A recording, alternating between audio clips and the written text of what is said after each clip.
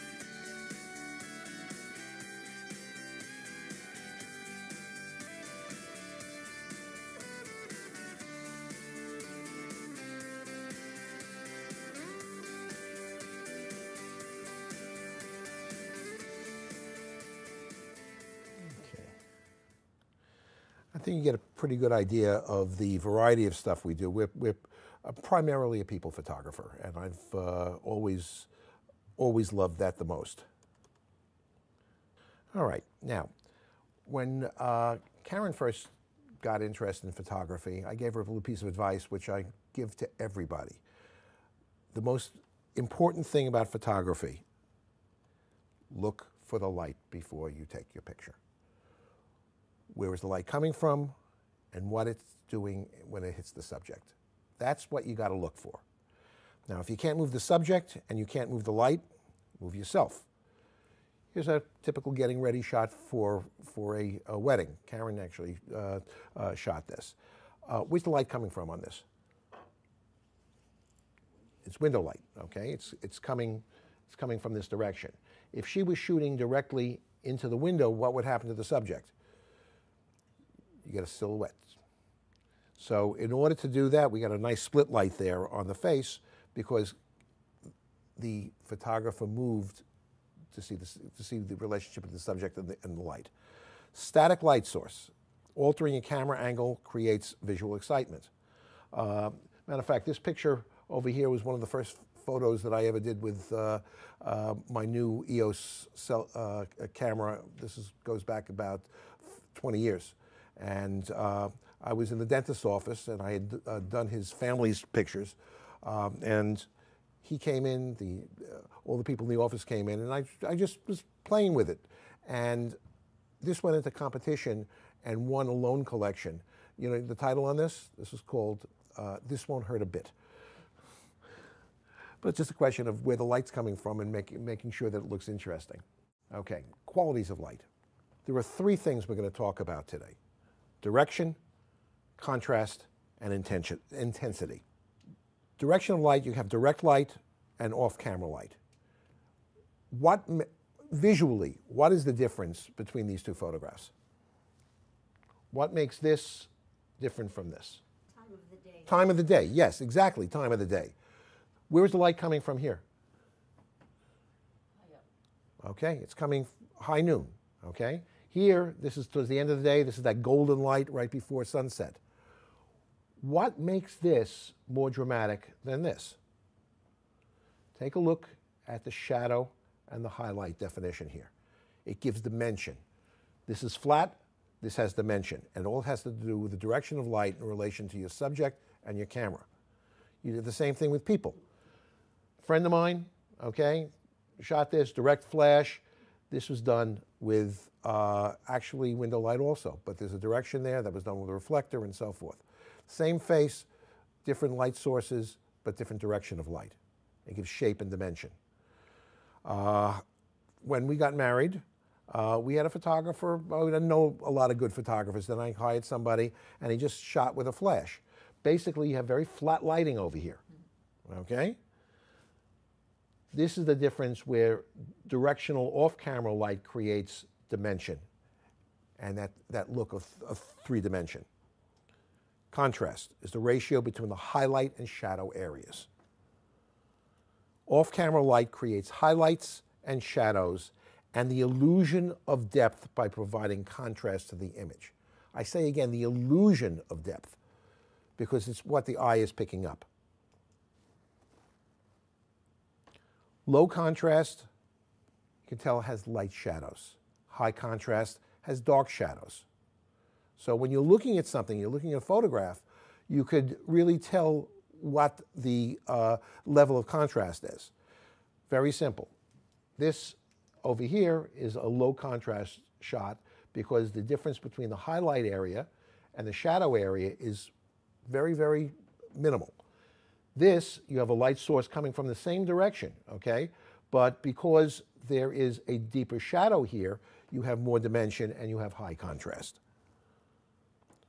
Now, quality intensity of light. One of the first people that I studied with was a fellow by the name of Adolfo Vachier. He's a Colombian photographer, uh, is a good friend of mine, and I took a class with him of, uh, and he described light as a liquid. Think of light as a liquid, okay? Put that image in your head. You can have a gentle spray, or you can have a harsh torrent. And light is just like that. If you have a light source that is uh, a hard light source or a heavy light source, such as bright sunlight, or you can, you can have the, the light source from open shade or overcast day. That's the differences in the intensity. Again, soft light gives you soft shadows. Hard light gives you hard shadows. Again, when you evaluate any photograph, think of those, think of the quality of light and, and the contrast. Example, soft lighting, hard lighting. Look at the depth of the shadow. And always look at the shadow and realize opposite the shadow is your light source. So anytime that you're looking at something, uh, this is very obvious where the light is coming from. But over here, you have a very soft shadow over here. Your light source is coming from the opposite direction. It's a good way to evaluate any photograph in terms, and, and any subject. Think about where your light is coming from. Okay. Varied contrast levels with a soft light source. Both of these are were shot uh, the same day uh, with a fairly high overcast. So it's a soft light source. The, this over here is a soft light source, but there's high contrast. Reason there's high contrast is there's very little reflect, uh, light reflected into the, to the uh, shadow area there. Over here, we had a reflector that was much closer. This is actually um, a, a, uh, a, door, a white door over there. And it's bouncing the light into there so you have a much softer shadow. So a soft light, low contrast, soft light, hard, uh, uh, uh, high contrast. Now, here you have a light source that is done with a hard light source. There's high contrast over here. Again, this is towards the end of the day, but again, fairly deep shadows. Now, this is a low contrast. You still had uh, um, a very harsh light source. The reason why the shadows are, are much softer and more transparent is that there was almost a wall over here that was reflecting bouncing light back into them so that the, uh, the look is not as harsh. And again, these are all things that you should be looking for when you're photographing and think about what you want to do. What kind of end result you want to have for your photograph? Now, there are two types of light. There's ambient light. Ambient light is produced by the environment. It's both a constant as well as a static source of illumination. It cannot be moved in relation to the camera subject. And examples are sunlight, moonlight, window light, daylight, and room lighting. The room lighting we have here is a ambient light source. We're not being, we can't move it. Artificial light is usually man-made uh, and is basically created electronically. Flash units are instant sources of illumination, studio hot lights, video lights, a flashlight, an iPad screen, or a candle or constant light sources. All can be moved in relation to your subject and camera. One of the coolest photographs taken of me is a friend of mine uh, named Rudy Pollock. We were in a uh, restaurant in Chinatown, and he photographed me using his iPad as his light source, and someone was holding up a handkerchief as a reflector. And it was really, I mean, it's, you can improvise, but the concept is exactly the same. Now, I want you to look at the different types of light, the sources of light. Open shade, daylight, cloudy or overcast day, sunlight at midday, which is actually equivalent in terms of the look to electronic flash, fluorescent lighting, sunlight an hour before or uh, uh, dawn, uh, after dawn or before sunset, tungsten photo flood, incandescent, sunrise, sunset. Okay? And if you take a look at what the quality of the temperature of the light is. It makes a difference in terms of the color. Look at these skin tones. This was taken the same time. Uh, this was done actually just with the modeling light in my uh, studio unit. And if you take a look at the backgrounds, you take a look, you can see uh, uh the same kind of hue. It's, it's more of a, of a yellowish golden hue to the skin tone. This was done same place with the strobes. And if you take a look, there's a difference in the color of the skin tones. There's much more of a blue hue to this and much more of a yellowish uh, uh, look to that. Have you ever taken pictures with, say, this kind of lighting and everything comes out yellow or orange? Well, what's happening is that your camera is, uh, your, your light source is an incandescent light source and it basically looks yellow. And with digital, we can, we can adjust for that. When we're working with film, you really couldn't. Take a look at this chart. I'm not going to go down with all the numbers uh, here, but you look how you go from the coolest light, which is open shade with a clear blue sky, and is the bluest, all the way down to sunrise or sunset, which is the red. And the color temperatures are in Kelvin. So this goes from 7100K down to 2000K. And each one of those color uh, uh, shifts in color temperature had, had visually creates a different look to your subjects. And you have to be aware of that as well. This is open shade with a clear blue sky. Okay, good skin, skin tones on this. This is daylight. We're going down from 7,000, this is not the 6,300K. Cloudy, overcast day at 6,000. This is midday at 5,400. Okay, now we're going down to electronic flash, which is the same 5400K, has the same color temperature as bright sunlight. Fluorescent. Fluorescent generally has a greenish cast to it, and you have to be aware of that. Sunlight an hour uh, after dawn, going down to tungsten photo flood, incandescent, and at sun, sunrise or sunset. So you can see visually how the colors change.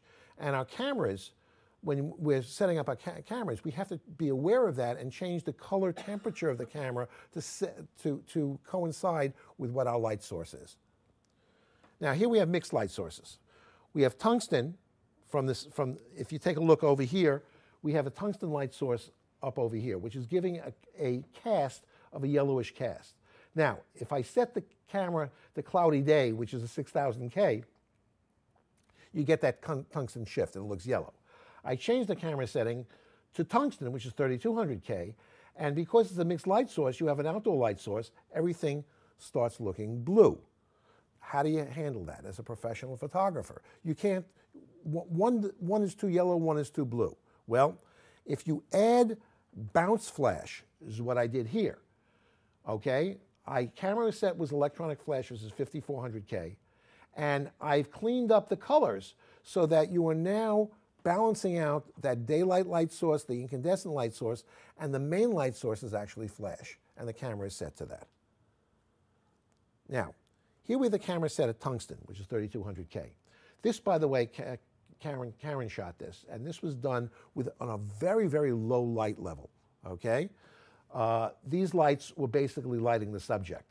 The sky was basically almost completely dark at that point because we shot this, this was shot um, at, a, a, fairly high ISO. So we were able to uh, get the image looking good. But what was happening is because this is really skylight and it turns blue, and you have that very intense blue. It, it was much darker uh, to the eye, but the camera uh, picked it up and changed that to a very deep blue. All right, placement of the light. Consider the source of the light is it natural or artificial. And remember, only artificial light can be moved. Subject matter, what do you want to emphasize? The viewer's eye always goes to what's brightest in a subject in, in, in a picture. And if you want to de-emphasize something, put it in shadow, because the viewer's eye looks away from it. Now, before we do anything else, the next picture, I want you all to squint. Okay, you're going to look at this like this, okay? And I'm going to count to three and I'm going to turn on. Everyone squinting? It's like putting on the 3D glasses at, at the movies? Okay, good. What is your eye picking up when you're squinting? Where does it go to? The dark area, the light area? Okay, open the eyes a little bit, okay? This is upside down. That's a great way of looking at photographs, by the way.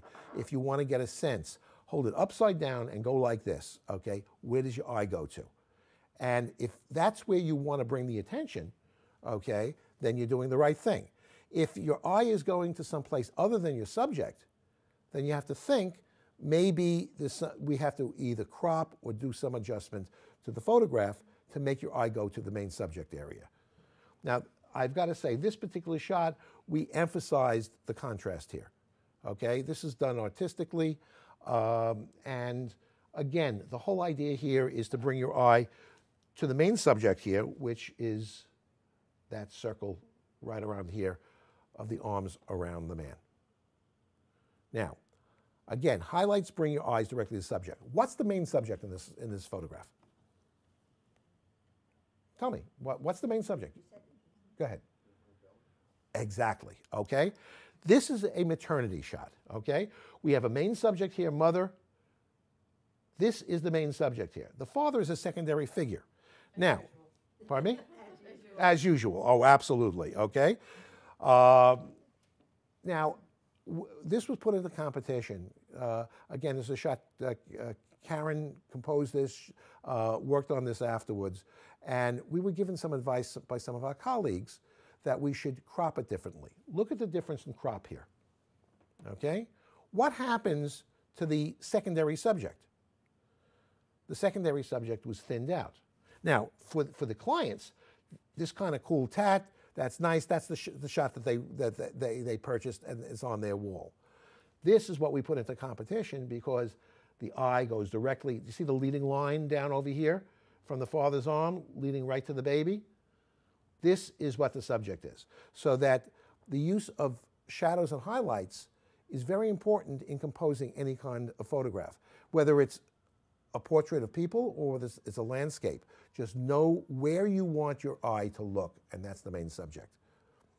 Now, highlights can bring the, uh, the eye to the main subject that's in shadow. Here we have, obviously, the main subject is not the background there. That's background. But because they are in silhouette, your eye goes to them because they're standing out against the light background here. Now, sometimes you can break the rules. What's the main subject in this photograph? You have the couple there. What else? Yeah. Well, if you take a look, what's sharp over here is the little girl. She's dark, okay? This obviously is much lighter. However, she is silhouetted against the bride's dress. And if you take a look at the expressions over here, they're looking at her. So this, they're secondary subjects. This is the main thing. How the arm goes in, again, and you have a leading line right into the little girl. Karen was behind this, uh, the little flower girl. I was, portrait, I was doing portraits against these flowers over here with window light when the kid walked in. And we gave it a title because when you enter pictures in competition, titles are important. The title of this, and Karen came up with it, she's great with titles, is Is He Still My Big Brother? Now think about the storyline here. And the funny thing is, realistically, she's the, the bride's sister, okay? But we made the storyline because look at the, the eye contact and the expression of the groom looking at the little girl. The bride was a little tired, she didn't have as much eye contact. So we made the, the story based upon what, what we wanted people to look at. But again, your eye is drawn to the, the girl because she's silhouetted against there. Now, a couple of important portrait lighting terms I'm going to be using, and I think it's important for you all to, to know. When you have a main or a key light, that's the light that illuminates the subject and that gives it the highlights. It's generally located off camera, and it's generally the strongest light source of which the image uh, exposure is based. The fill light Fill light exposes the shadow areas, and it's usually placed near camera. Kicker or an edge light. It gives dimension and separates the subject from the background and is located usually 45 degrees behind the subject, coming in behind the subject. A hair light generally comes straight down, eliminates the top of the subject from above, and a back or rim light is a light source located behind the subject pointed at the subject.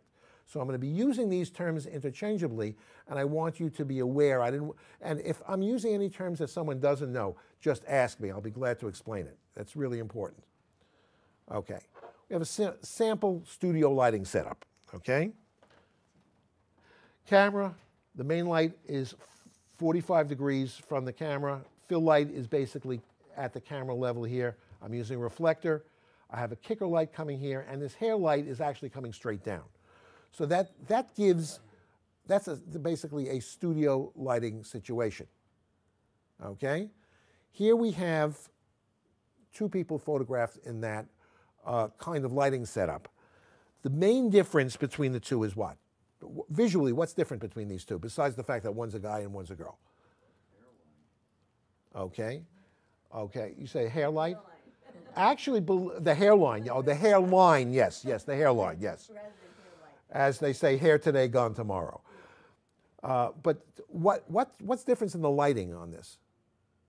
Take a look. Take a look. What, what is lit and what's not lit on, on, uh, on one and, uh, as opposed to the other? You have more red light on the girl because she has more hair. Okay. Well, You have it on the guy because of the light. well, it was it was diminished. Repeat the answers so that everybody could hear? Okay, he, he said that there's more rim light on, on the young lady than on him. That's true because I didn't want to overemphasize any of the, bold, uh, the boldness there. But the basic difference here is background. This is, this is a dark background, that is a lighter background. And the reason why I have that background, this happens to be the postmaster, retiring postmaster of Manhattan. And I was asked to photograph him uh, as an, a present on his retirement. And we brought in the flags. That's the flag uh, uh, that was at 9/1, uh, 9/11 uh, at the pit. And we brought that in. And I actually had the lighting on this is actually identical, with the exception I had a second light over here lighting up the background. This light was feathered so it lit the background and gave him a little bit of a, of a kicker light there. I had no background light on this. But otherwise, it's the portrait lighting. It's the main light on my camera left, it's a fill light, and it's a kicker light. The big difference is that I'm using a, back, uh, a hair light on, uh, a, um, uh, a background light on this. Now, we have a stationary light source, okay, with a natural light. This is window light. Both of these are photographed exactly the same way. I'm working with my light source coming from the right here, okay? You have a nice light pattern over here. You have a nice, fairly transparent shadow, and there's a reflector. I have a portable reflector there that is reflecting the light uh, onto the side. I can't really move my light source, but I can move my, my, my subjects and my, my, my camera position. Now here we have a back or rim light, okay? This is a natural light versus artificial light sources. But the, the effect on the subject is exactly the same. Uh, it's very important in shooting right into the sun to, to get a full silhouette is to make sure that you actually block the sun. And when you're exposing it, you expose for this area over here, not the sun. You want, you want that to go nice and dark. Here, I had a flash behind the subjects, pointed at them, but I had a fairly long shutter speed because I wanted to get a lot of that ambient light from, from the chapel area there. But basically, this is the same kind of lighting. One's natural and one's artificial. Now, shooting into a back or a rim light creates some very dramatic effects. But you got to be aware again. Over here, remember what I said when you're shooting directly into the sun? Make sure that you use the subjects to block that. Otherwise, you just get a, a flare. And the, the, the, if you're using any automatic uh, settings, your camera is going to totally get whacked out because it's trying to expose for that sun itself rather than the subjects. Now, look for the shadows as well as the light. This beautiful portrait, and again, I got to give credit where credit due, was created by Karen, and the post production work was hers also. Uh, you're just looking at this, we have an, uh, a, lovely, lovely uh, sense of dimension here with a very soft light, but there's definitely highlights and shadows. If you take a look, those shadows over here, shadows over there, and, it- and, and you have your highlights, the specular highlights over here. Now, there are also terms that I'm going to use to describe backgrounds. High key, subject has a light background. Okay? You have low key, the subject has a dark background. And then there's medium key, where the subject not only has a dark background, but is dressed up and looks kind of silly. Mid-tone. Now, in controlling the light, sometimes we are blessed with absolutely perfect lighting. Okay, I, I mean, this is what this is what I call God's light, God's studio, and take full advantage of that. This particular scene over here, we're photographing bride and groom before the wedding, and they had this huge room with huge windows, northern light coming in. It was just yummy. There's nothing that I had to do to add to it. We just add, had natural bounce. The light was bouncing all around. I had beautiful, I didn't have to control anything. Here, the same thing. This is outdoors in, in April uh, in Central Park. It was a high overcast. It was just gorgeous. And uh, that lovely reflection, by the way, was not there when I photographed it. That lovely reflection was put in there post production by my lovely wife, just to add a little interest. Okay, now again, I was doing some family shots for a bar mitzvah. I had uh, an outdoor area. It was a beautiful day. It was a very sunny day, but they had a porch area over here. If you take a look, uh, white porch. The light was coming from the uh, from behind me and a little bit off to my my left. I had perfect lighting over here. I have, if you think, I have a highlight, okay, a key light. I the the light that is bouncing around is my fill light. And where did the hair light come from? Remember, I said this is all natural light. Where did the hair light come from? From the sun. It came originally from the sun. But the side of the building there, you see where the, the sunlight's coming in? It's coming in from this direction over here. You see how the, see the, the, the highlights and the shadow? Okay? The side of the building was bouncing light right back into her. It had white, white walls all around. And I had a natural kicker light, natural rim light. I had everything done naturally. It's just a question of positioning the subjects in the right place. And you can see over here how I had a very even lighting also my, my, my exposure from, from here to here was maybe within an, a, a quarter of a stop. So you couldn't ask for better, anything better than that. Now, sometimes the light is not perfect. This was uh, done at a lighting demonstration for our professional group about two, three years ago. Supposed to be outdoor lighting uh, uh, seminar. And when we got there, it was raining. We went indoors can you tell this was done on a rainy day uh, uh, indoors? Okay. What I did is a technique which I learned from other pros is if you're working indoors and you open up windows or doors and you can shoot outside with an outside background but still be inside. You see this right over here? That's the frame of the door. We were actually inside. I was working with a softbox as my main light source. I had a reflector and basically the background was an outdoor background, but this is just giving the illusion that I'm working outdoors when I was actually nice and dry inside. Now, there are several tools that we have to control outdoor lighting. Certainly, you can change the location if the lighting's not right. You don't want to shoot in bright sunlight. If you're outdoors, go in a shaded area, okay? You have that option. As Again, as a professional, if the light's not right, you change the, the circumstances. We use reflectors. This is an absolutely essential tool. It bounces light from the main light source, softens the shadows, creates uh, uh, highlights in the eyes. Remember, they say the eyes are the windows of the soul? Well, uh, it's important to, to make sure that you get catch lights in the eyes. And a lot of time using a nice reflector, you could do that. Uh, electronic flash fill, which is using electronic flash at a lower intensity than the natural light. And it gives, uh, and, and it also has the advantage, uh, we were talking about color temperature. If you're working outdoors, or actually working indoors, and you have light that's bouncing around, it picks up the colors from what's around you. Now, if we're outdoors in a um, an area with a lot of greenery, what happens to the, to the light that's bouncing around? What color does it pick up? It picks up the green. And unless you're a Klingon, green skin is not really flattering. And if you use a little electronic flash that's at a lower intensity than the outdoor ambient lighting, it cleans up the colors.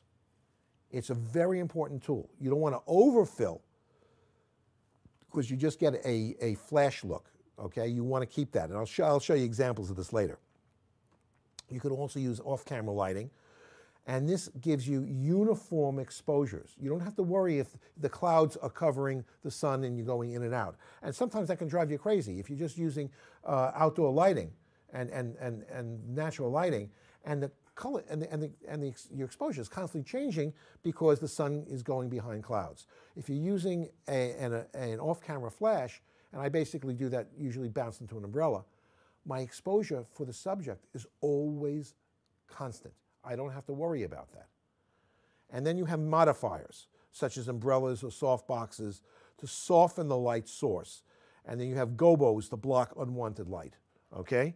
Does anyone know what, uh, familiar with the term gobo? G O B O?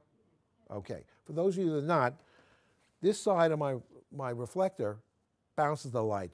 I like having a black sided reflector because if you have a light source, you ever, you ever photograph somebody and that, that pinpoint of light from the sun is right on the nose and it really looks terrible? Use a gobo. Block that sunlight. You can turn it this way also and get a little bounce reflector if you have another light source. Do you see, by the way, do you see how, the, how that light source is being bounced right into me? Beautiful. I'm, Judd, I'm, I'm more beautiful than I was before a moment ago. Thank you very much. All right. Uh, several years ago, I was delivering uh, an order to clients out on Long Island, and uh, across the street were clients that were uh, I was photographing uh, a bar mitzvah about uh, three weeks in, in, later, and the mother said to me, "Hey, can you take some pictures of my son? He's in his baseball uniform. I want some pictures." And at that point, all I had was my little pocket camera. Wait a minute. I wasn't there to set up to do portraits. I was there to deliver an order. Okay, this is basically what I had in my in my camera case. All right, I take him to the back. What's wrong with this picture? Take a look. What's wrong with this picture in terms of lighting? We're talking. I'm sorry. There's no details. There's no. There's no direction of light here. He's lost. He. If you take a look at the face, okay, the, the main light source is behind him. There's no detail there. You can't see any catch light or anything. I walked him around to the other side of the, uh, of the house. They had a garage with white doors. Okay? I set up that bright area over there where I, where I moved him from. We just moved about uh, 15 or 20 feet. I now have, went from a high key background to a low key background. This kicker light over here is the reflected light coming in from this. It's bouncing right off of this, right onto him, give me a kicker light. The light on his face is the light that is bouncing off the garage doors. It's my natural reflector. Again, I was able to use this little camera. We did a poster of him afterwards, which I sold for a nice chunk of change based upon a shot I did with this and a garage door as my light source. So, I mean, again, as pros, if the light's not right, you have to know how to change the situation and make it right for yourself.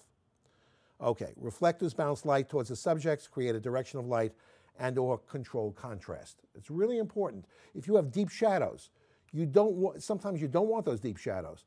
A reflector bounces light back into there, okay? Now here we use the reflector with window light, and I had a large reflector placed camera right, okay? It's off to the right with a light source that was basically window light. And if you take a look over here, we have nice soft shadows. She, she was a little bit behind here. You can see how there's a shadow cast from, from the other sister, the younger sister onto the, uh, uh, to the older sister. It's okay because if there was not a reflector there, this would be totally black. And because I had a reflector in this position over here was bouncing light into the shadows, and I was able to get so, uh, a, very soft, uh, transparent shadow. Okay, now, we were in the Brooklyn Botanical Gardens. I don't know if anyone's worked there. Uh, everyone has got a camera, but as soon as you're a professional photographer, they know you're a professional photographer, the most important piece of equipment they want to see is that $300 check. So I usually go there with, with clients, and you know, the, the bride is always my niece, or the groom is my nephew. It's personal.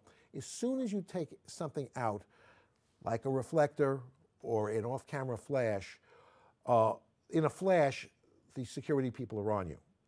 And I saw this, this area over here was gorgeous. I wanted the bluebells in the background and so forth. Very cute shot, but I did not like the light pattern used a reflector, got two quick shots over here before the uh, polizei came and told me, you got to put it away. Uh, are you a professional photographer? I said, yes, I am, but this is my niece. I'm photographing. We're doing some nice personal photos for her. But in the meantime, I was able to change this into this. Now, let's, let's take a closer look for a moment. A reflector directs the light, and I want you to notice the catch lights. Take a look at the difference between the light pattern here and the light pattern here, and look at the, how the eyes pop. There were two catch lights here. This catch light is from the daylight coming in, and this catch light at the very bottom is from my reflector. Look how the eyes just pop. Very simple piece of equipment. It weighs next to nothing, it folds up next to nothing. You should have this in your camera bag all the time. It's a really vital piece of equipment. if you're photographing uh, still life, and I mean, uh, commercial photographers use reflectors all the time. It's not just, it, it's not just for people anymore. All right, here we had a wraparound reflectors. It was interesting because uh, this maternity shoot um, we did in um, one of the women's uh, parents' home on Long Island. And uh, what we had over here, uh, what looks like window light, it actually is uh, light coming through the window, but it's in, in um, electronic strobe uh, in, in a big umbrella, okay? But I didn't, I, what we did is we had reflectors around over here, and I asked the father if they had um, a sheet or something like that, and he said, sure and I was going to tape it up, and uh, he, he just went pop, pop, pop with a, with, with a stapler. He just stapled that up there for me. And I had a, a beautiful tent lighting situation where the, the light coming in just bounced around, and it just created that beautiful three-dimensional lighting. And then electronic flash fill light, and it gives better exposure and adds details, shadows, and more accurate skin tones. Okay? This was done in the end of, or middle of November, about a year ago. And the bride wanted outdoor photographs. And we, it was late in the day. They got started late, whatever. This was about five, uh, 4.15 in the afternoon. The light level was drastically low. Luckily, we have cameras that we can up the ISO. I shot this at about an ISO of 6400. But I still was not getting that, I was, I was getting a muddiness to it. I put my electronic flash on, I dialed it down to 164th power or 1 128th power, just to give that little wink. You would not believe that there was a flash here. This looks like just on, on an ordinary day, late in the afternoon. There was almost no light here, but the quality of the light was improved and the look was improved because I was using a flash fill to really clean that, that, that look up and give a little pop. All right. Uh, this is a photograph of our oldest daughter. Uh, she's now in her 30s. We were at a friend's house up in Connecticut, and it was, Connecticut has the most wonderful foliage in the world in October. And this is in front of their house. And right behind me, about three feet behind where I was standing, is the house that is really dark. There was no light bouncing back in there. And I didn't have an off camera flash, but I had one flash on, on, on my camera and I just used that to give my proper exposure. So it's, it's, a, it's direct flash on there. But I was able then to increase my shutter speed to bring down that very hot background so that I'm balancing the foreground and the background. One thing that you should be aware of, in controlling any exposure, you have two variables. There's your f-stop, your aperture, and your shutter speed. What controls ambient light? Which one of those control ambient light, the, the natural constant light source? Aperture. Aperture, correct, as well as shutter speed, both do. With strobe, with electronic flash, the only thing that can control your exposure is changing your aperture, your f-stop. Reason, if a flash goes off at a 5,000th of a second, what difference is a 60th of a second or a 125th of a second going to make? It's, the duration is almost instant. So the shutter speed really has no bearing upon your exposure when you're dealing with flash. You can only control it by your f-stop, the, the, the, how wide your, your diaphragm is. So when you're dealing with combined photographs such as this, which has a natural light source, an ambient light source, and a flashlight source, you have to set your, your exposure, your, uh, your aperture first for the flash, and then change your shutter speed to get the correct background. That's the only way you can do that. So just remember that limit, uh, particularly with cameras that have what's called focal plane shutters. Most digital cameras these days have a focal plane shutter, and you're limited to sync at flash to about a 200th or a 250th of a second, depending upon what model camera. They do have high-speed flash. I don't want to go into that. That's that's a uh, high-speed sync. That's that's a topic for another uh, lecture, another another program. But basically, you're, you're limited to your shutter speeds. So just remember that. Off-camera flash gives uniform exposures and balances the background exposures. Just what I told you. All right. I think you may have seen this at the very beginning, okay? This is the first two shots that I turns an amateur snapshot into a professional shot. The picture on the left, I actually did with my cell phone. That's, I just wanted, uh, I was really thinking in terms of this, of this program. I wanted to show the difference. First of all, I changed my, uh, I, I use my, my, I use Canon 5Ds and 5D Mark IIIs. I put a long lens on this so that what happens with a telephoto lens, I started blurring out the background. I didn't want all the details back over here. And I had an off-camera main light source in an umbrella. My, my friend Timothy in the foreground here was my assistant on that, right? And he can attest to the fact that I had uh, an off-camera flash and a reflector. And that's basically how I got the difference in look between the left and the right. Off-camera directional lighting turns an amateur snapshot into a professional portrait by taking a flat image and adding the third dimension. This was a, uh, a couple who, uh, the, the bride is the daughter of very good friends of ours. He's also a professional photographer. And when I shot this, my off-camera light didn't fire, okay? I had the correct exposure for, for this, but the second shot, it did fire. Look at the difference in the, in the, in the three-dimensional look with a light source that is coming from off camera. This is flat, that's dynamic.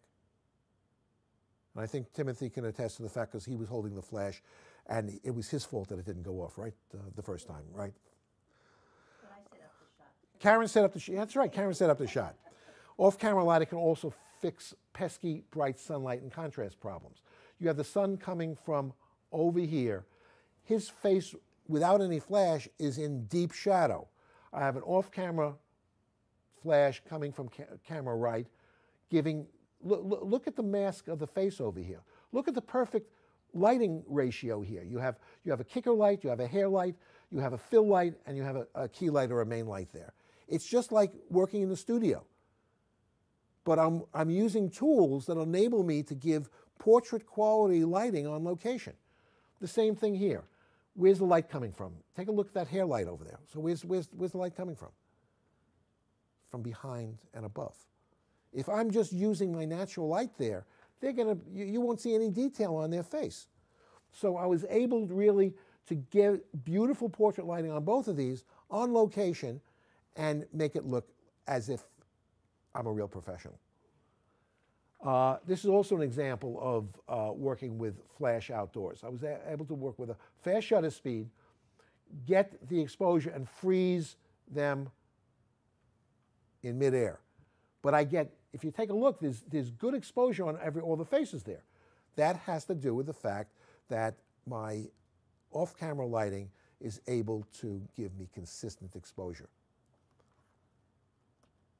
And by the way, they, they were in midair for about 10 seconds, so I shot several shots. Uh, now, when using off-camera lighting outdoors, take care not to lose the natural look.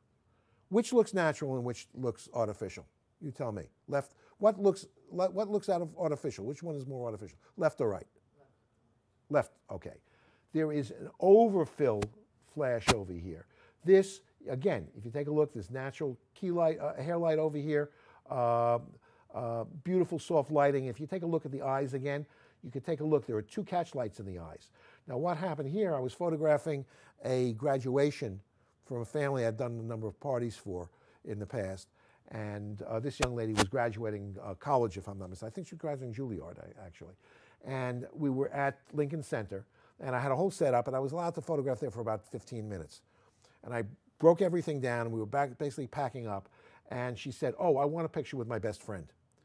Well, I wasn't going to set up the lighting again. I just put the, I had the, the off camera light was still up. Pop, we shot a, a shot, but I didn't have my camera on tripod because this was shot at about a 30th or a 15th of a second to bring in all that beautiful ambient light in the background. These were shot about five minutes apart. So the, the light itself didn't really change, the natural light didn't change. But my ability to get, to get this look absolutely changed. But I got the picture. It was important for me to get the picture. I wasn't going to say I'm not going to shoot it but there is a definite difference in the look. Okay, modifiers. We spoke about umbrellas, a softbox. Anyone know what a softbox? Not know any of these terms? Let me know. A scrim. You know what a scrim is? A scrim. Okay, someone's shaking the head. I, again, I don't want to use terms that you don't know because I think it's. I don't want to uh, go past you. A scrim is usually a translucent panel that could either act as a background. You can shoot through it to give very soft lighting and uh, a lot of times will act as, as a gobo or, or a, for instance, if you have direct sunlight coming through, if it shoots through a scrim, all of a sudden it becomes this huge window and softens the light. It's, it's a very good tool to have. Uh, you can also use barn doors, grids, and, and, and snoots.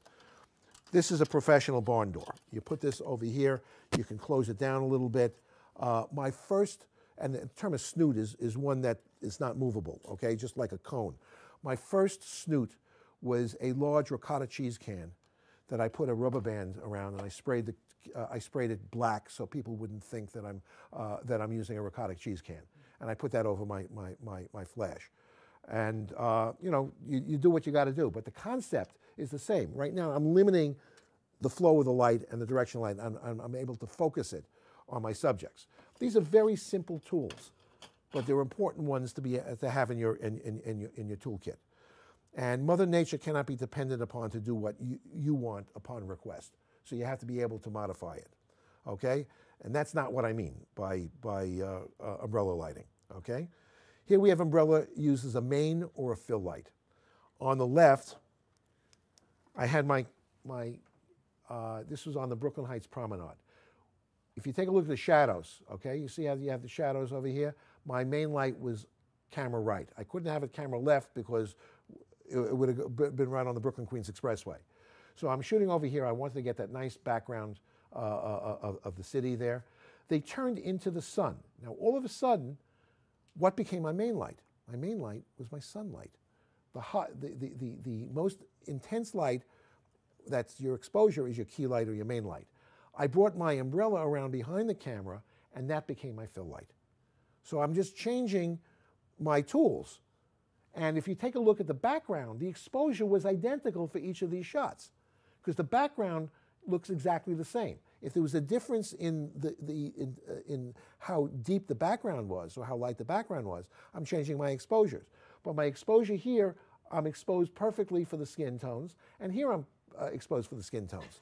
It's just a question of which, which light sources I'm using. I'm just changing it. Okay, a softbox. This was done during that uh, photo uh, shoot that I was telling you about, about uh, that started off on a rainy day. It stopped raining, and uh, this, this is our, our friend Will, who's our uh, other instructor.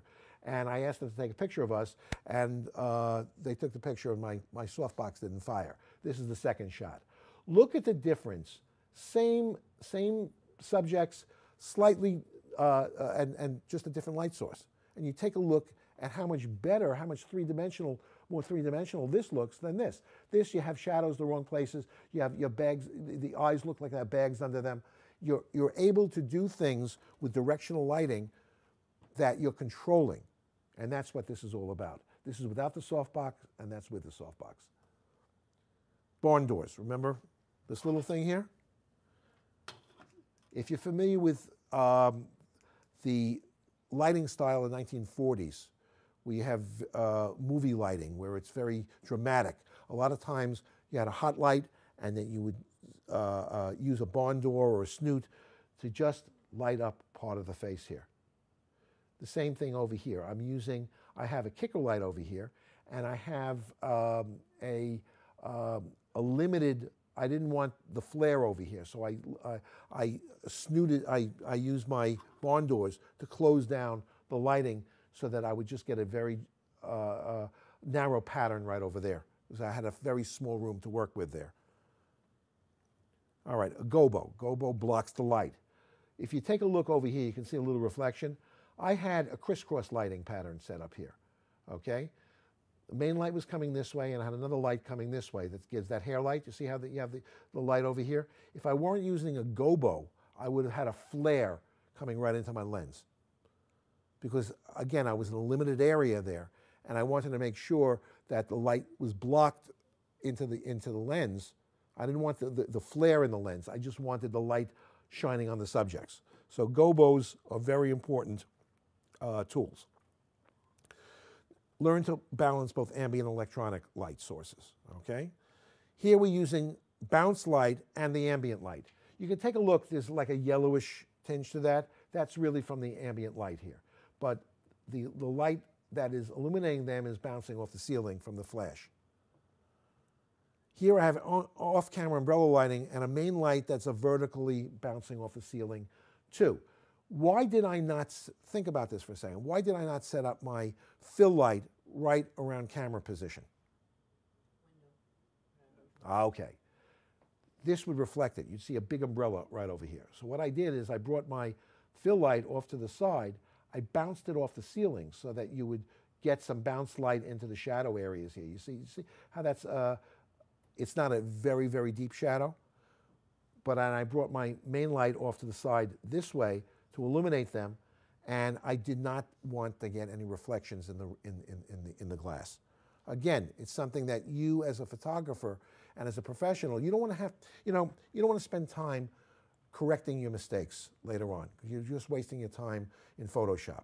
If you can eliminate something before it happens, then you're saving yourself a lot of time and effort. Now here we have directional bounce flash as the main light. Indoors, soft shadow. So where's the light coming from? Camera right or left? It's coming from camera right. It's bouncing off, it's bouncing off the wall this way. The same thing here. You have a very narrow area over here. You have light bouncing off this way. And uh, whatever, I think there was a shirt, another shirt hanging there, and that's, that's giving me my, my, my fill light over there. So again, you have to adapt to the circumstances. Here, my flash is a rim light, okay? It's shooting into the bride. You see how it's illuminating uh, the, the veil over here?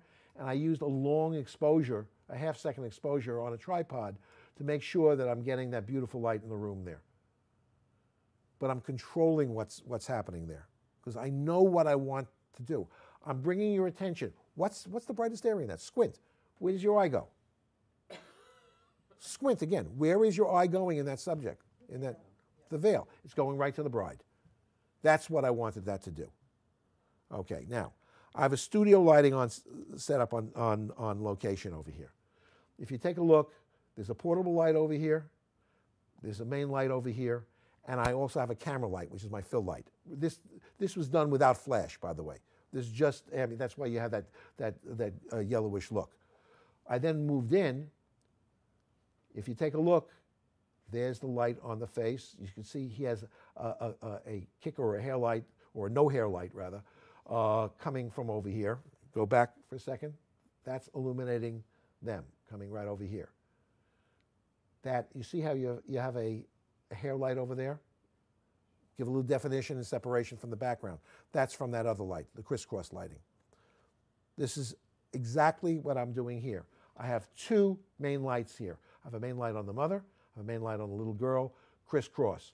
My camera light is actually bounced off the ceiling, so I'm getting a fill light over here. And here I had much more dramatic lighting.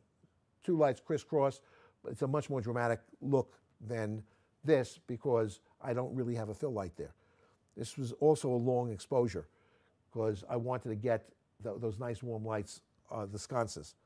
So I'm, I'm utilizing both light sources, but the main light is definitely strobe on both of these. Now, this may look like a total candid. It is. It's a candid shot. They looked up. I didn't really have to pose them. They were cutting the cake. Look up. But again, remember we are talking about portrait lighting? I have a main light, lighting up the face. I have fill light for my camera, which is at less intensity than my main light. I have a kicker light over here. You see how I'm getting that separation? And the background is natural lighting. And you could take a look, you could even see detail on that white cake. If I was just using straight flash, you would never get any of that detail on the cake or any of the detail on a dress. It would just be blown out. So again, it's controlling your light. Take a look over here. I have a, a room full of people that I'm able to light. I have a crisp, I have a light coming from this direction. This is not retouched or anything. It actually there's a little flare over there. You see that? A light over there.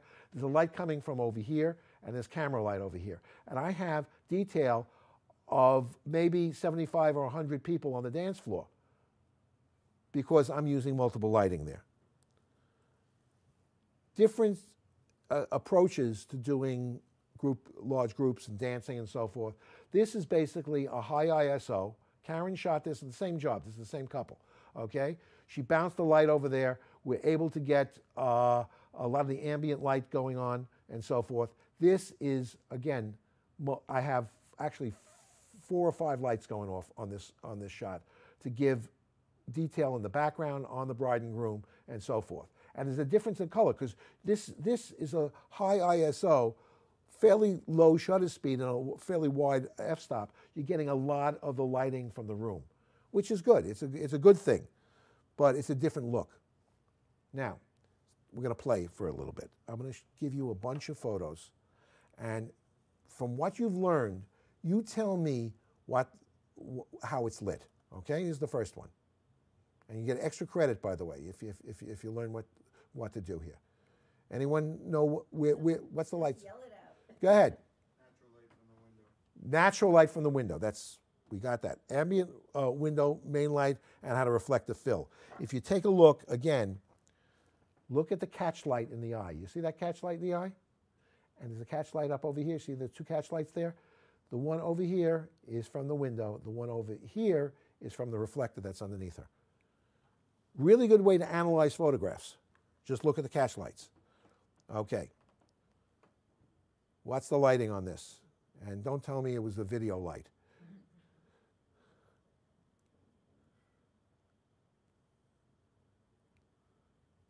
Really, really tough lighting situation. Bill?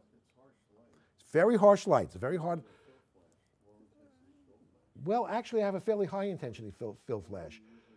My main, my main exposure was obviously I had to get detail here and detail on the highlight. But my fill flash was fairly powerful because it filled in, you have a fairly uh, transparent shadow over here. She's totally in shadow. If I weren't using a strong fill flash, she would be absolutely, you would get no detail whatsoever there. If I can just quickly tell the story of this, these two No, brides. We went with these two brides to City Hall to get their marriage license. They came in their military uniforms. And just by coincidence, it was the day that the Supreme Court came and decided the Edie Windsor case and essentially legalized gay marriage. And there we were. And the news just happened to be there. And of course, because they were in their uniforms, they got interviewed. And that was the shot. Right place, right time. Okay, so this is ambient light with Phil Flash. That guy Phil is a great photographer. Uh, okay, what's the light? What's the lighting here? Yes, sir. It's better than ambulance. It's it's Better than ambulance. Ambient. It's Ambient. better than ambient. it's better than ambience. Okay. Well, there is an ambient light source, and it's a natural ambient light with a reflector. That's all that is. I had beautiful light coming in from behind me. Didn't have to do a thing with it, but I did use a reflector to, to get a little pop there.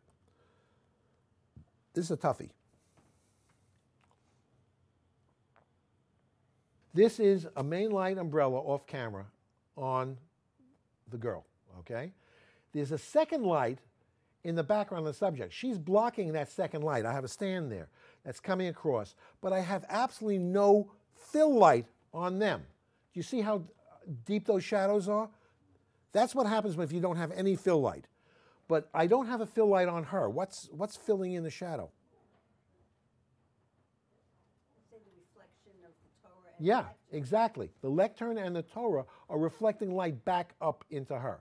So you have light coming this way and bouncing up this way. And that's why you have a transparent shadow here and no detail whatsoever in the shadow there. But for a for a, an example of something that's an interesting photograph, it's, it's, it's, it's definitely controlled by me. But this is not just a snapshot. This is something that a lot of thought goes into how, how it's lit. Go ahead. Okay. Your, what type of uh, strobes are you using Okay. to light this? Is it, are you using speed lights or are you using studio strobes Okay. on location? This is actually a combination of uh, studio strobe was in an, an umbrella here. Had an AC unit, and I had a portable unit behind her.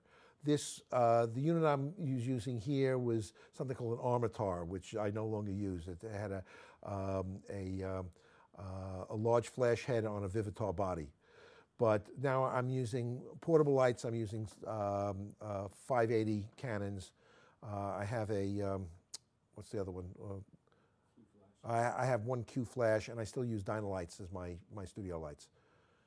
So uh, I'm, I'm old school in that respect. I like, I like working with, with main lights that have uh, uh, uh, a modeling light ability. So I see exactly where the light's going. You're mixing the studio lights today Yeah. with the speed light, Canon speed lights? Yeah, Canon. I, I, I use Canon systems. I'm using uh, 5D Mark IIIs, and I have 580 speed lights. So, anyway, let's go to this one. This was a happy day for our family. It was our daughter's wedding, and my friend Owen, whose daughter I photographed, photographed our daughter. So, tell me about the lighting here. Where's the sunlight coming from? Go ahead. Yeah. It's coming right from the top. You see, you see right over there? It's coming almost straight down. How we're lighting the faces. And to me, the picture looks like just falls short of HD. Uh, It's for, uh, hi- yes, HDR, okay? It's not a composite. It is not a composite shot with HDR. This was done with two speed lights, one off camera, one on camera, lighting up the faces. That's all that is. So you have two portable lights on, on the group here with the main, with the background and the hair light from, uh, from Mother Nature. Okay, direct off-camera main light with ambient light. Oh, we had ambient light filled too, because you do have some light from the foreground, and a, and the hair light is uh, ambient. Okay, how's that lit? Okay, bounced off the ceiling. Okay, you're, you're, you are correct in the, that there is bounce light there, but the bounce light is actually the uh, fill light. Off-camera flash is in an umbrella. I have, I have that in, in a Dynalite umbrella over here. It's coming from over in the corner over here on her, and the, the, my, my camera light, which is a speed light, is just bounced right off the ceiling. That's what that is. And, I'm, and if you take a look, I, I definitely wanted to get her uh, reflection in there. And that side of her is being, you see how you have a full illumination here? You're illuminating the, the uh, uh, highlight side in the mirror, and that's coming from my umbrella light. Again, tough lighting situation. Basically, we had fl- a, flash fill with ambient main light. My, my sunlight was coming in over here. I had a very strong flash fill, just like the one with the, with the, with the, uh, the, the two brides in uniform. Exact same kind of situation. Yes. I have another question. Go ahead. Did, you shot this. Yeah, I, I shot this one. Okay, my question. Uh, did you use an on-camera filter or was the softening effect applied in Photoshop? Take the, take the, mic- the, the microphone. So this was actually, they were laying on the cobblestones. It was just daylight, plain old daylight, and I shot straight down at them. There's a lot of retouching in term to get that softness on the skin tones. Okay, but there was no special filter or anything on the camera. All right, it's just to get the sharpness where I wanted it and to get the softness where I wanted it. That was done post production. But the light, the light itself was very, very soft. It was sort of a natural light, but it was, it was a high overcast. High overcast. It was beautiful, beautiful lighting there. We were in, in fairly open shade, and there was definitely a direction of light there, as you could see, because you could see that there's a shadow there. If, if it was coming directly over their faces, you wouldn't have had the shadow on, on the bride's face. Again, I showed you this before when, when we were talking. You see how, yeah, that the shadow area there? So it's coming really from an oblique angle down this way. Something we just shot two weeks ago. Yeah, this is, main light is off camera flash, bounced off a wall at camera left and natural sunlight on the background. And I got to say, we were about to bring in my uh, big Dynalite, and Timothy said to me, let's just use the white wall as, as, as, as your light source. Turn my speed light into that, and the speed light was bounced on the wall, was giving me that perfect lighting on the face. Uh, I had natural light um, uh, as, as, a, as my fill light. And this light coming in from here is my hair light and my background light. And that's natural sunlight coming through there. So I was really able to balance that very, very, uh, um, not easily, but we compensated for the fact that there was bad lighting on her face. We created the lighting on her face. The rest of it's natural. Okay, if you remember those two sisters uh, that we photographed, where one was slightly behind the other, this is the mother. Same lighting situation. We have a window light over here. We have a large reflector over here. Window light with reflector. Very natural look. You obviously like this picture because you used, you used it in the PR, okay? Okay. Perfect silhouette. This is ambient light only as a photographer, you, you, you utilize situations and you place your subjects in the light. Actually, they, they were not in the light, they were in front of the light. So this, the placement here is very important. And again, if you squint, your eye goes right to them, right? Squint, look right to them. All right, here again, we have a situation with natural window light. Uh, this divan was on the other side of the room, and on Karen's suggestion, we actually pulled it closer there to get a better exposure and to give some very dramatic lighting. So Um, this is I, I have to give credit where credit was due. I picked the location and the setup, but you said, let's drag it closer Oh, to the window. okay. That was All right. seeing the light. Okay, that's, that's exactly what it is. It's seeing the light and knowing the intensity of light. Because on the far side of the room, it was much too weak. I wanted a stronger light source there. And this is an interesting one. Okay, the story, this was actually in a photo class uh, at uh, Sleepy Hollow. It's at, this, at the cemetery there. This was shot at about 12 midnight. This is a four minute exposure. I got in front of the camera, which was on a tripod. It was wide. It was it was maybe about an f8 exposure for four minutes. I used a flashlight and spelled my name, P-A-U-L. Why don't you see me in this? because the light doesn't pick up since it's that dark. Um, it's picking up the flashlight, but it's not picking you. Yeah, there was no light on me. The light level on, on this, uh, on the background there, was very, very low. And the sky looks like it's lit, lit up. That's the afterglow from New York City. If you're ever coming in from out of town and you're coming in at night, uh, you can see the any large city. You could see like this like this dome, very faint dome of light. On a four-minute exposure, it comes out. It looks like it's at sunset. It's not. That's literally at midnight. So uh, that was a combination of four minute time exposure, painting with light, ambient light with, with daylight temperature, flashlight. And the daylight temperature flashlight, what color did it become? Because I'm shooting in, uh, uh, uh, on an ISO of 3200. What color did the flashlight turn into? Blue, because that's at 6400. Again, color temperatures, okay? There's a great quote from George Eastman Light makes photography. Embrace light, admire it, love it, but above all, know light. Know it for what it, all it's worth, and you will know the key to photography. And that's all, folks.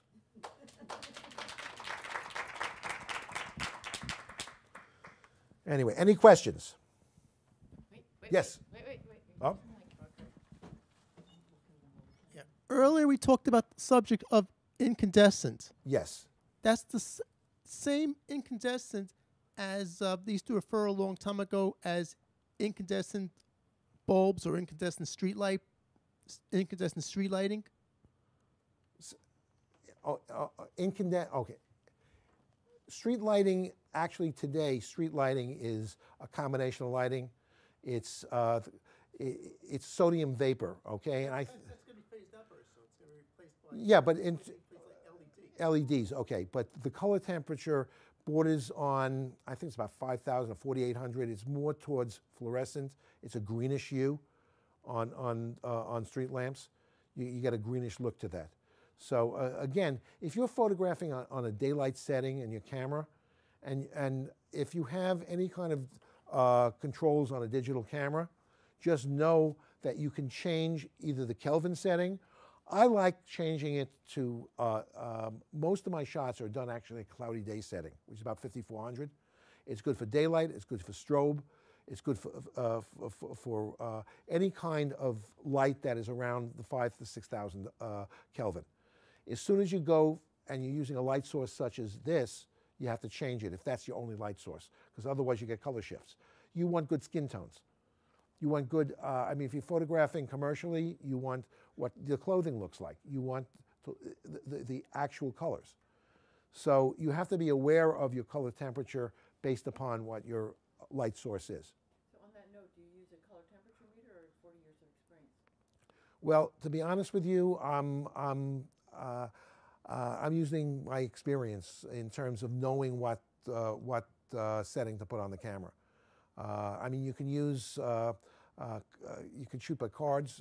A, a lot of, a lot of photographers will take a, a particular scene and you'll, you'll use a gray card. Uh, uh, I used to use when we were still shooting film, I would actually photograph a Kodak box color because the lab knew exactly what the color was on the Kodak box. They had something called a Shirley. A Shirley was a photograph that Kodak had of a woman with a color wheel, okay? And every lab had a Shirley, and it was called a Shirley because the woman holding that, her name was Shirley, okay? And they used that to uh, gauge what the color of your end product was, what your prints were. But we have control over, you see, when you're shooting with film, you couldn't, unless you were changing color, uh, uh, f- uh, film types, you were set with a certain kind of film. You had real daylight film or you had tungsten film. And you had to physically change the roll of film. But now we could do it on the fly in the camera, depending upon what the light source is and what, what the circumstances. You can change your ISO. You can go from an ISO of 100 to an ISO of 10,000.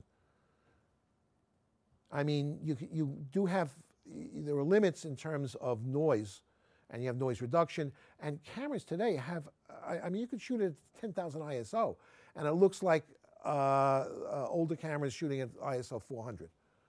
It's really, the technology today is really amazing. But you have to be able to master the technology. Every one of you is smarter than your camera. Okay? Don't let the camera decide for you. I shoot on a manual mode all the time. I don't use uh, uh, uh, auto color. Okay, I don't set set my, my my camera. I set the camera color setting, the color temperature setting. I'm smarter than the camera. I mean, you can get it 85, 90% of the time. But if you're a pro, you don't want 85% of your pictures to be okay and 15% not to be okay. And then you got to correct it, you, you got to make excuses. That's not what a professional does. A professional nails it. I learned, eh, you know, I, I shot film for most of my professional life. And when you're shooting film, every time you hit the shutter it was 75 cents. 75 cents. Nobody did a wedding shooting 5,000 pictures when you're shooting film. Okay? I mean, you, you, right now, people, you know, what they do, it's known as spray and pray. You shoot enough, you'll get some things that are right. I grew up and I was taught to get it right in the camera. All the things that you can do afterwards should be artistic control. You shouldn't have to. You shouldn't have to uh, uh, uh, make make excuses technical for your technical mistakes and try to correct them. You should get it right when you hit that shutter. Be aware of your lighting. Be aware of your exposures. Be aware of all these things. A lot of them are instinctive to me. It's like learning to drive. The first time you learn to drive, it's a whole series of, in, of, of independent moves. You open the, the, door, you sit down, you adjust your seat, you put the key in, you, you, th- you have to think. When, when you're an experienced driver, you're driving, you're not thinking about all these independent motions, they happen automatically. And as you gain experience as a photographer, these things happen automatically. I shoot weddings. I've done 2,500 weddings and, and, and events in my life. You can't take the time to, to do the things you can do in a studio setup when you're doing commercial work. Okay? You just don't have that time. You're given the amount of time that you have and you gotta produce. You could shoot a thousand photographs and the one picture that doesn't come out right is the one that the customer is gonna bust the, your chops over. You gotta get it, you gotta nail it right. You can't reshoot that. So the skills that I learned, and I learned in the trenches, I learned from other photographers. You know, in the old days, you, you used to have the guild system where someone would apprentice for 10 years and then become a leather craftsman or learn how to make gold or how to make uh, glassware or, or, or, or, or, or become an artist. I learned that way. And a way, you look, I, I, education for me isn't a continual, continual thing. I've gone to maybe a thousand programs in my life. I've done full week classes. I mean, I'm a master photographer. I am still learning. When a doctor graduates from medical school, he doesn't know everything about medicine because it changes every day. You're constantly going to, to, to seminars, you're learning. And this is something that it's, it's a lifelong process because you can't, you know, when we shifted from, when I shifted and the, and the photo industry shifted from film to digital, they say about a learning curve, it was more like a learning cliff because there was so much that you had to do. We are much, we're much, Moving out of the light for Ooh. the video camera. oh, I'm so sorry. I'm sorry. No, he was so adamant. But um, Paul, I think you're absolutely right that we all have to keep learning and experimenting and, and looking. Right. And um, I think you've inspired us. I'm ready to like go out and break out my little flashes and my Lume, Lume Cubes, right? And, and go out and play. So I know that uh, some of the SVA students here are thinking about their midterms. So help me in thanking Paul for inspiring Egypt. Well, it is a pleasure. I, you're, a won- you're a wonderful audience, and you're getting a car, and you're getting a car, and you're getting a car. Thank you very much for being here tonight.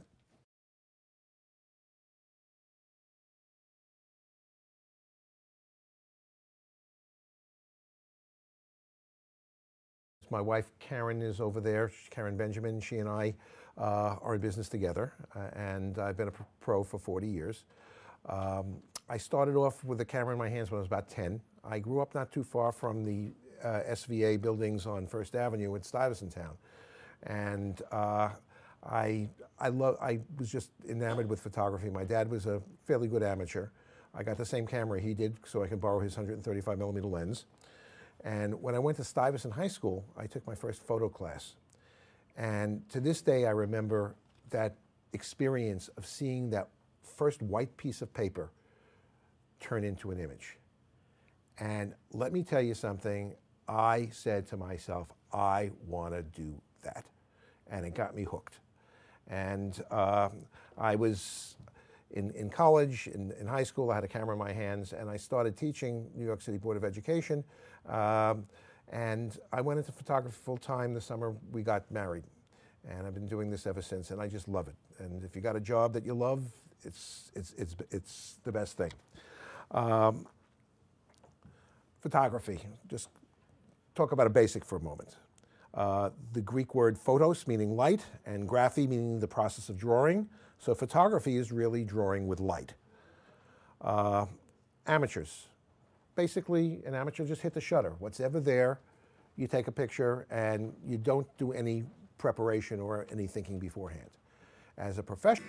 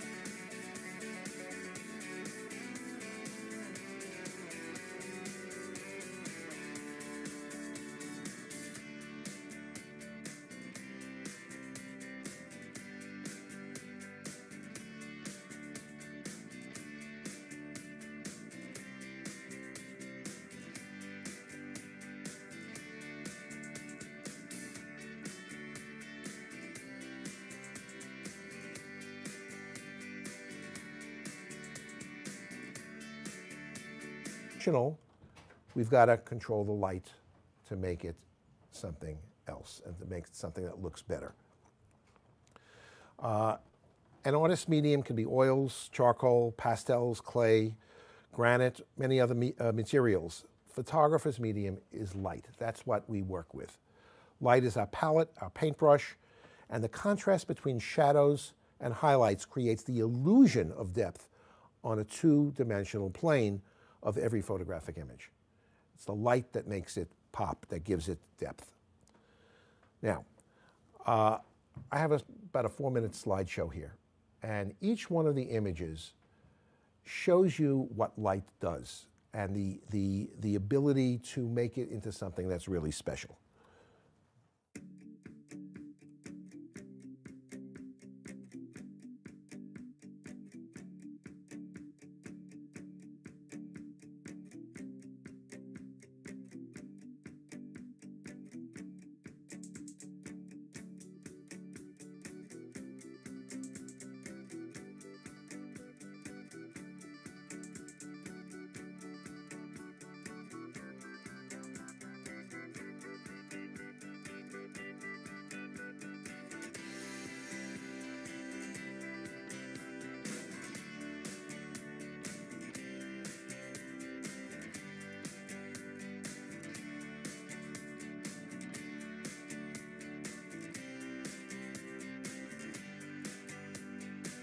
Piece of advice, which I give to everybody.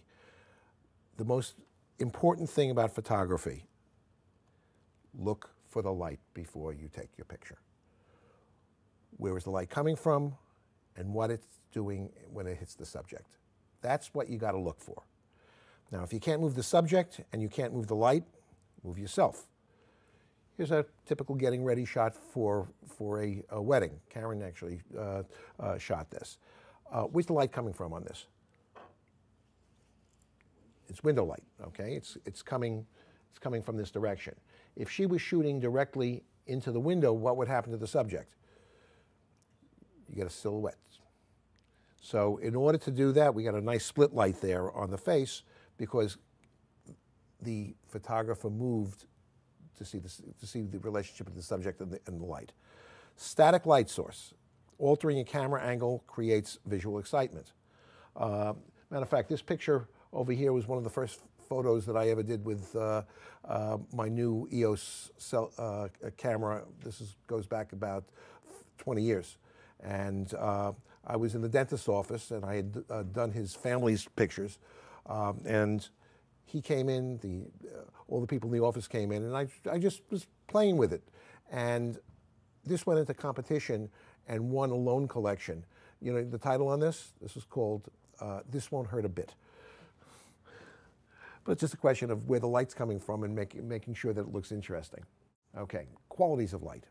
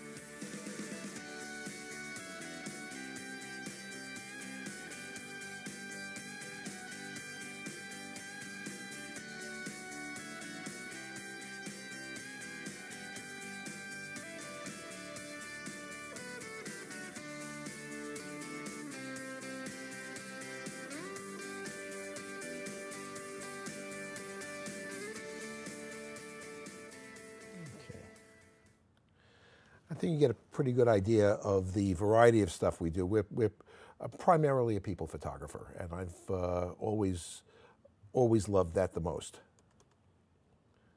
All right, now, when uh, Karen first got interested in photography. I get